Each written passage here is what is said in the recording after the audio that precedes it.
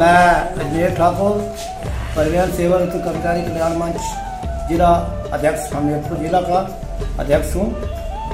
मैं दिवाली के उपलक्ष्य में पूरे हमीरपुर वासियों को, पूरे प्रदेशवासियों को व अपने देशवासियों को जो है बहुत बहुत बधाई देता हूँ कि सबके घर में दिवाली खुशी खुशी से हो।